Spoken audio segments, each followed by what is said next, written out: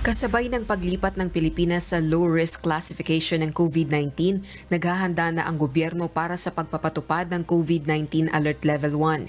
Ayon sa Duterte administration, katumbas ito ng tinatawag na new normal – Gayunman, ayon kay Acting Presidential Spokesperson at Cabinet Secretary Carlo Nograles na ilang kondisyon ang kinakailangan bago maabot ang antas na ito, partikular na ang mataas na vaccination coverage at patuloy na pagsunod sa health protocols.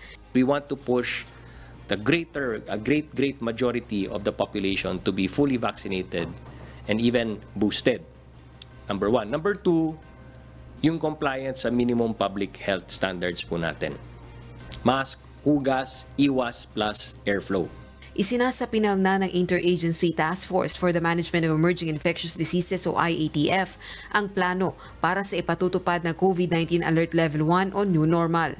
Sa ilalim nito, papayagan na ang full on-site o venue at sitting capacity sa lahat ng establishmento at aktibidad basta't na ang pagsunod at pagpapatupad ng minimum public health standards.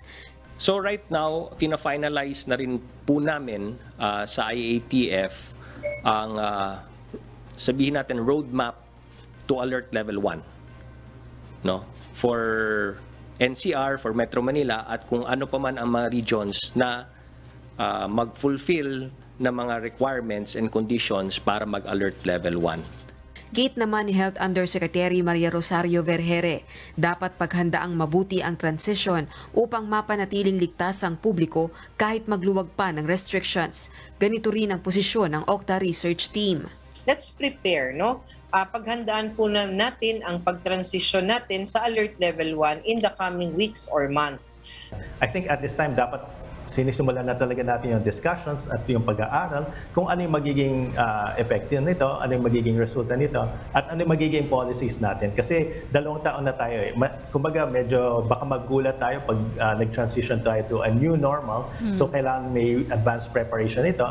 Lunes ng gabi sa public address ni Pangulong Rodrigo Duterte, inihayag ni Presidential Advisor on COVID-19 Response Vince Dizon na sa buwan ng Marso balak ipresenta ng National Task Force Against COVID-19 sa Pangulo ang bagong roadmap na makatutulong patungo sa pagkakaroon ng tila normalidad sa bansa. Dalawang taon ito matapos ang mahigpit na pagpapatupad ng mga COVID-19 restriction. Rosa Licoz, UNTV News and Rescue. Diyos ang aming sandigan, serbisyo publiko ang aming pinahahalagahan.